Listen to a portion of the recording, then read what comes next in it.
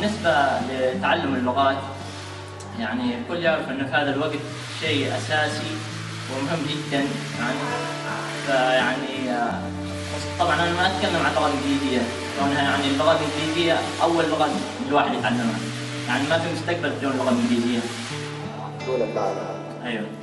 أنا أتكلم عن اللغات غير الإنجليزية خصوصا اللغة الفرنسية اللي تجي يعني ممكن في الترتيب بعد اللغة الإنجليزية.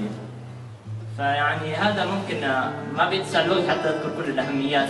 يعني الأهمية لتعلم اللغات. والوسائل كثيرة ممكن عن طريق الإنترنت والمعاهد وغيرها. طيب ما هي الصعوبات التي قابلتك؟ الصعوبات كثيرة. ممكن أهمها المجتمع. المجتمع غير مساعد البيئة غير مساعدة. آه، يعني عندنا للأسف الشديد في مجتمعنا ما في اهتمام باللغات. ممكن يعني ممكن هذه الفترة تحصل معاها كثير تدرس لغة إنجليزية. لكن يعني مثلا لما بديت أنا أتعلم اللغة الفرنسية آه، وأنا تقريبا في إجازة الصف التاسع إجازة صيفيه فخرجت يعني ما أعرف أنا ابحث عن طريق الإنترنت فخرجت أبحث على معهد أتعلم اللغة الفرنسية. فسألت كثير من المعلمين الانجليزي رحت أكثر من معهد إنجليزي قلت في معهد فرنسي ما حصلت اي معهد ولا حتى أستاذ ممكن يساعدنا في بداية التعلم. فالحمد لله تعرفت واحد يعني قال لي ممكن تحصل شيء عن طريق الإنترنت.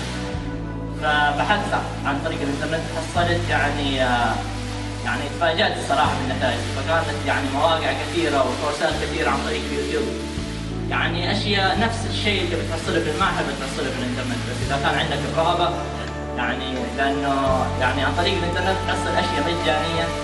يعني ونفس المادة اللي بتحصلها في المعهد بتحصلها في الإنترنت. أهم شيء الرغبه والبحث يعني.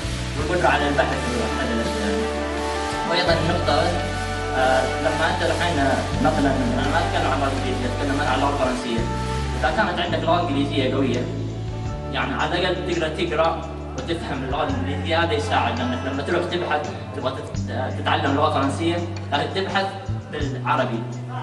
أما لما تروح تبحث بالإنجليزي تحصل ضعف ال- يعني لما تروح مثلا قنوات يوتيوب تحصل واحد يعطيك كورس بالإنجليزي يشرح يشرح اللغة الفرنسية. طبعا إنجليزي مبسطة يعني.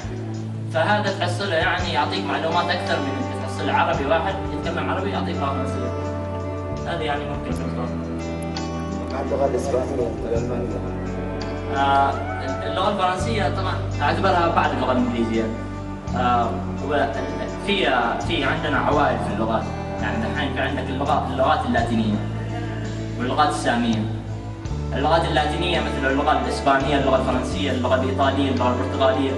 واللغات السامية مثل اللغة العبرية واللغة العربية. يعني في تشابه بين هذه اللغات، لأن أنا لما بديت أتعلم اللغة الفرنسية وعرفت أساسيات اللغة الفرنسية وبدأت أحفظ مفردات فرنسية بعدين رحت أتعلم ال- الإسباني حصلت أغلب القواعد اللي بالفرنسي نفسها في الإسباني يعني سهلت علي مرة أن أتعلم اللغة الإسبانية فهذا يعني لما الحين إحنا عندنا اللغة العربية. أو التركية صح من يعني اللغات القريبة من العربية. فأنت الحين عندك لغة عربية تقدر تتعلم لغات تركية. هذا أسهل لك يعني لما تجي لواحد تفسر يتقن اللغة الإنجليزية فهذا لما بيروح بيتعلم اللغة التركية أصعب. أما أنت أسهل لك نحن العرب. في لغات قريبة لنا. طبعا اللغة العربية يعني لغة الحمد لله أن لغتنا الأصلية عربية لأن كل الأصوات فيها تعتبر اللغة يعني يعني اللغة الأولى. يعني كل حاجة فيها. يعني مثلا دحين الأجنبي الإنجليزي لما بيروح بيتعلم اللغة الفرنسية في صوت الغين في اللغة الفرنسية اللغة. فهذا يصعب عليه إنه يقوله يعني فيتعب مرة على ما يقول والحاء نفس الشيء. لكن نحن العرب عندنا كل الأصوات عندنا الغين عندنا حرف ما رحت تتعلم فرنسي ما عانيت اي مشكلة يعني. فيعني الحمد لله لغتنا العربية تسمح لنا نتعلم لغات كثيرة. الحمد لله على jangan dibawa kembali ada ada ada ada